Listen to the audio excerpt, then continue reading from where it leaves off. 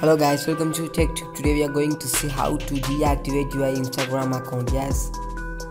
Now let's see how to deactivate. First click instagram and go to your page. Click it and go to your page.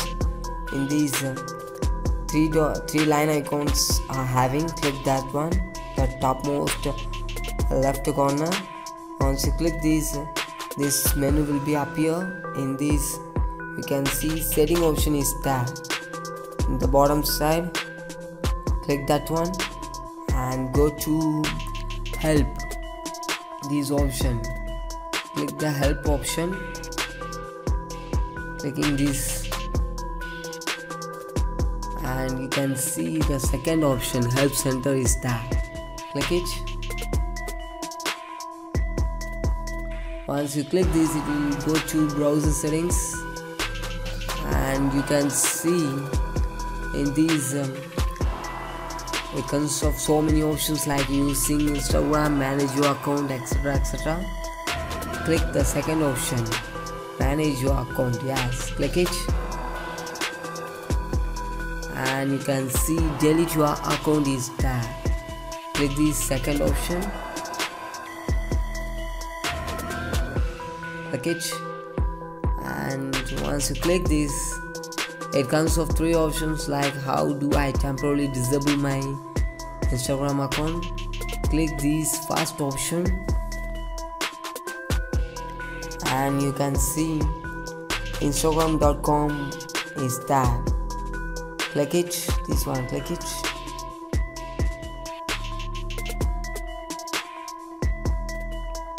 And if you already enabling this it will automatically go to instagram page. It will ask username and password give and open the instagram in your page. And you can see the go to your page. And you can see edit profile is there in the topmost. Click the edit profile. And it consists of your biodata like uh, name username bio etc etc and you can see in the bottom side temporarily disable my account is there yes click it. Temporarily disable your account. Yes. And why are you disabling your account? You want to select option what you want. I am clicking privacy concern and scroll down and you want to enter your password as click your password clicking your password click temporarily disable account yes this one. Click this one it will be disable your account fully. So this is how to